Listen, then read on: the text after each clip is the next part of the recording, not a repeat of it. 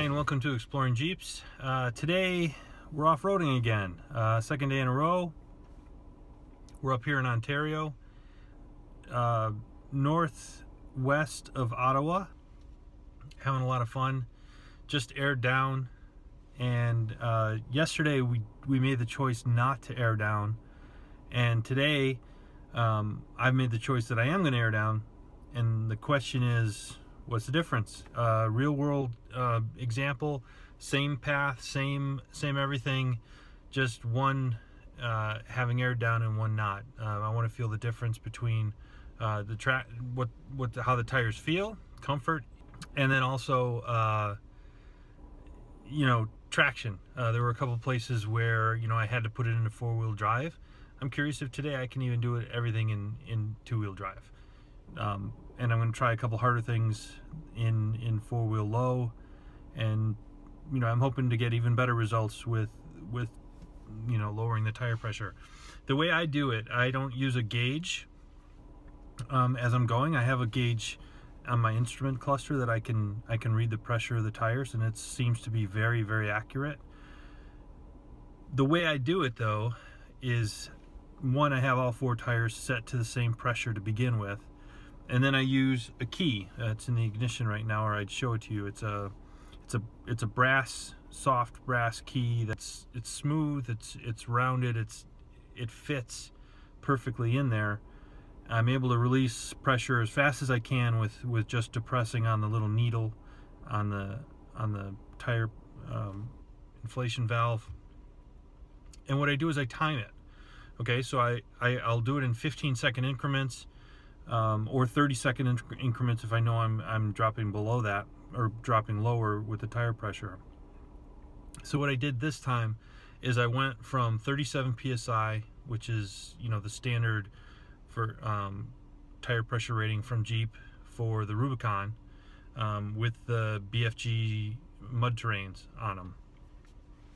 Um, and now, if I look at my um, um, after one minute, they're at 24 psi. So they went from 37 to 24 psi. So um, I'm probably going to drop these another 30 seconds and just go around. But they all come out about the same. So you don't have to go with the tire gauge and make sure, like, if it's 8 or 10 or 12 or 15 or whatever you choose to have your your your tires at, I think it's less important whether it's 10 or 9 or, or 11 or 12 it's more important that they're all the same. And if you time it right um, you should be able to get similar results at least in the front and in the back if you're on a level level area when you do it. So um, I'm gonna go fix this get a, get a little bit lower and then we're gonna head out on the trail. Okay so I'm back. Um, put another 30 seconds in the um, remove 30 seconds worth of air from the tires. Uh, important thing to note is that if you're going to do this, uh, you either better have a service station right near the trail or you better have your own way to um, you uh, refill them.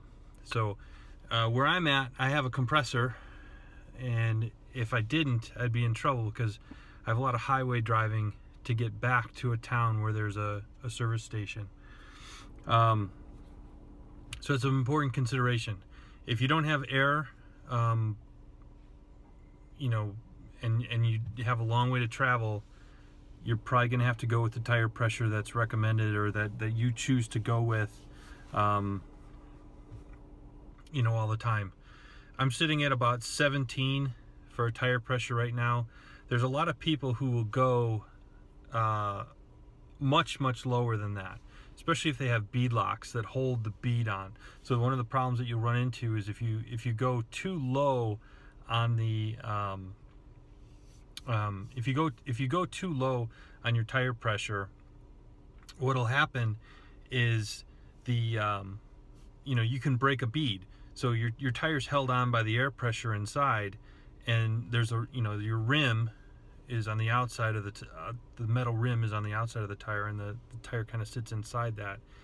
Well if you go too low and then maybe in the fronts you're turning or something like that you can force a break between the bead and the and the tire, and then you'll lose all the air pressure inside, and um, you have to reset that bead, and that can be that can be kind of hard if you don't have a like a large tank, uh, CO2 tank, or a very good, fast, high-speed compressor. I don't have one of those, uh, so I really don't want to break a bead. On the trail, definitely, airing down is better. Uh, you have greater traction, you know, as the, the tire is able to, to flex on the road better and, and your, your contact patch is much larger. Um, also, I've heard that it's, it's also better um, as you go over sharp objects, your tire is more able to, to bend and not, and not get cut or, or punctured by those.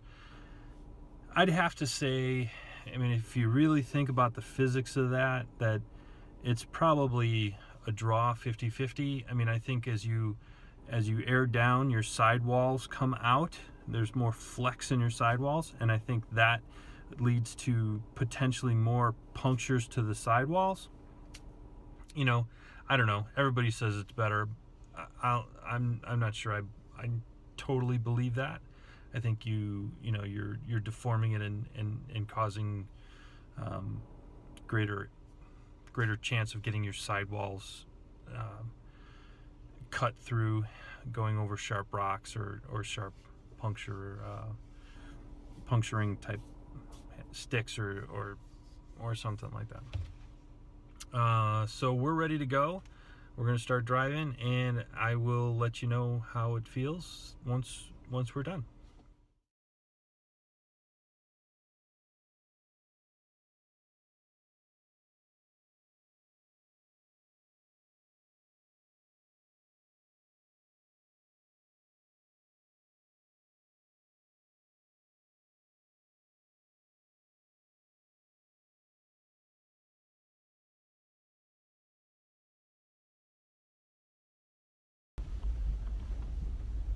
Uh, driving impressions.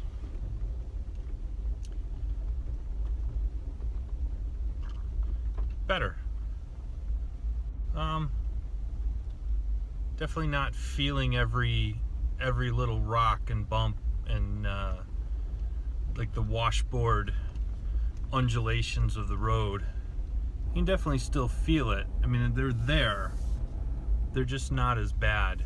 More comfortable driving experience and I'm sure going a little bit further lower uh, would be would be even better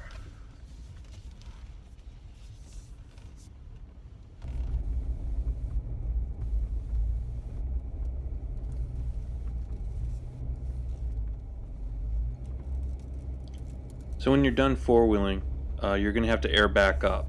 So you're going to want to get your compressor out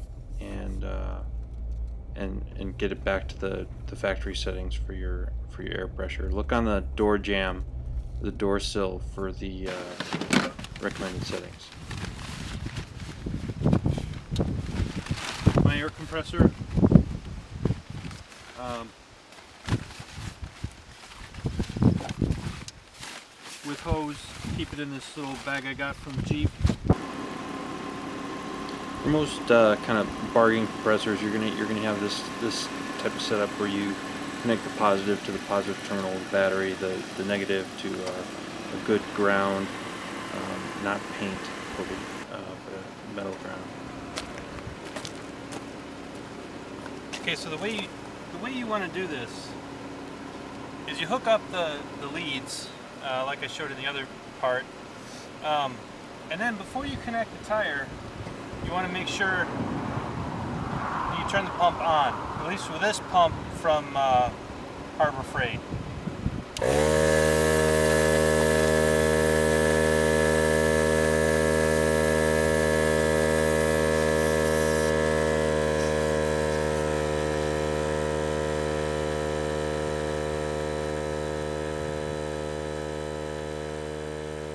At this point, you're going to want to uh, air up for about as much time as um, you you were airing down. So you know, a minute and thirty seconds to air down. You know, with this type of pump, you know, around about the same amount of time. Um, you, you do want to be careful once you're done because the, the pump gets very, very hot. You don't want to put it right into the bag. Let it cool down first. Um, I do recommend a bag though because it can get pretty muddy um, and you're going to be putting it back into your Jeep. So thanks for watching.